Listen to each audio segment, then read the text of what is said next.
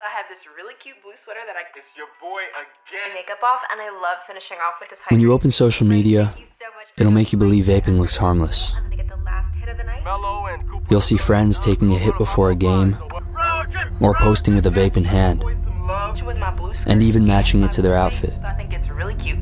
All right, I'll see you guys in my next video. Peace. But nobody posts the bad stuff happening behind the screen. The lengths you'll go for a hit, You guys see my vape? or the anxiety you feel when you can't find your vape. Pull the car over. Nobody posts about the unexpected cough attacks, the many sleepless nights from nicotine withdrawals, or the extreme mood swings. Get out! Nobody posts how bad their addiction is, so don't fall for everything you see on your feed. Vaping is ugly behind the screen. Get the facts at thefactsnow.com.